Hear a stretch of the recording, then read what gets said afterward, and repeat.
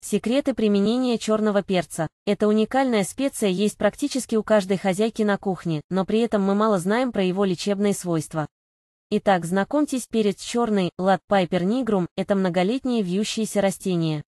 Родина черного перца – Индия, Малабарское побережье, его называют малабарской ягодой. В Индии он входит в число пяти основных потребляемых специй – черный перец, куркума, перец чили, имбирь, кардамон. Его называют королем специй. В средние века перцам давали взятки, одаривали дорогих и именитых гостей, собирали приданое дочерям. Растение культивируется ради плода, из которого путем различной обработки получают такие пряности, как черный перец, белый перец, зеленый перец и розовый перец, под названиями зеленый перец и розовый перец. Интересно, что эти виды перца являются плодами одного растения.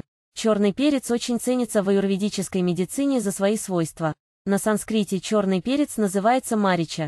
Это одно из имен Солнца, и черный перец получил это название благодаря тому, что в нем сконденсировано огромное количество солнечной энергии. Он питает и поддерживает ткани организма, усиливает огонь пищеварения.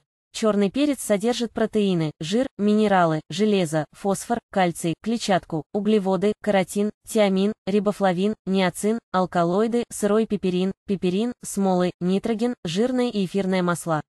Основное вещество, составляющее 35-56%, а иногда и до 63%, это крахмал. В перце содержится в три раза больше витамина С, чем в апельсине. Влияние на души снижает вату и капху, повышает питту, вкус, острый, энергетика, согревающая.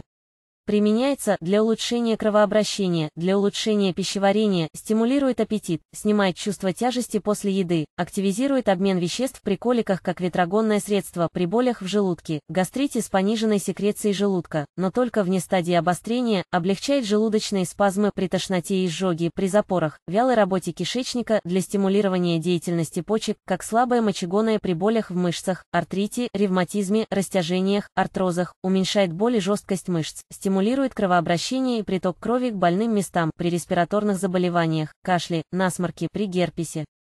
Снаружи подсушивает герпетические пузырьки, заживляет кожу и слизистые, а изнутри восстанавливает, как иммуностимулятор, повышает сопротивляемость организма к вирусам при головной боли, мигрени, головокружении, слабости, снимает спазмы сосудов при анемии и после больших потерь крови, ускоряет образование красных клеток крови за счет стимулирования селезенки, для очищения и оздоровления организма, выводит из организма вредные вещества и стимулирует синтез полезных. Наталья Минченко, собака ZV, нижнее подчеркивание Аюрведа.